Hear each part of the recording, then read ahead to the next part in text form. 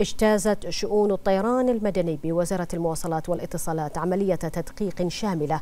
أجرتها إدارة الطيران الفيدرالية الأمريكية لتنال شهادة الفئة الأولى. ويعد هذا الإنجاز خطوة مهمة تتيح لشركة طيران الخليج تشغيل رحلات مباشرة والدخول في ترتيب الرمز المشترك ما بين مملكة البحرين والولايات المتحدة الأمريكية. وبهذه المناسبة أكد معالي الدكتور الشيخ عبد الله بن أحمد الخليفة وزير الخارجي وزير المواصلات والاتصالات أن حصول مملكة البحرين على شهادة الفئة الأولى دليل على التزام المملكة بتطبيق أعلى معايير السلامة وأمن الطيران والحرص على تبني أفضل الممارسات والمعايير الدولية. وأشار معاليه إلى أن هذا الإنجاز يجسد رؤية المملكة لتطوير البنية التحتية لقطاع الطيران وتعزيز مكانة البحرين كمركز إقليمي متقدم للنقل الجوي. مؤكدا مواصلة الجهود لتعزيز التعاون مع الشركاء الدوليين لتحقيق مستويات متقدمة من الابتكار في قطاع الطيران وضمان استمرارية التميز في خدمات النقل الجوي. من جانبه هنأ سعادة السيد ستيفن كريك بوندي سفير الولايات المتحدة الأمريكية لدى مملكة البحرين شؤون الطيران المدني على هذا الإنجاز مؤكدا أن هذا الإنجاز يعد خطوة مهمة نحو استئناف الرحلات الجوية المباشرة بين البحرين والولايات المتحدة معربا عن تطلعه لزيادة تدفق الأشخاص والبضائع بين البلدين الصديقين وتوسيع فرص السياحة والأعمال والتجارة وبرامج التبادل الثقافي والعلمي. سعدنا اليوم في مملكة البحرين بالتعاون مع شركائنا في الولايات المتحدة الأمريكية بحصول المملكة على الفئة الأولى من قبل إدارة الطيران المدني الفدرالي تابعة للولايات المتحدة الأمريكية. آه هذا الإعلان الذي تم الإعلان عنه اليوم على هامش معرض البحرين الدولي للطيران.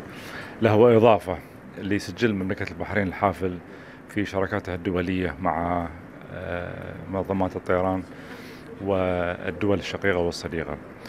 آه بطبيعة الحال مطار البحرين الدولي بعد أن تم افتتاحه في السنوات الأخيرة وبعد الاستثمار في البنى التحتية وفي الأنظمة الخاصة بالملاحة الجوية والأمن أصبح يتبوى مكانة متقدمة في في هذا الإطار. وبالتالي فالمراجعة الحثيثة التي تمت مع شؤون الطيران المدني تابعة لوزارة المواصلات والاتصالات.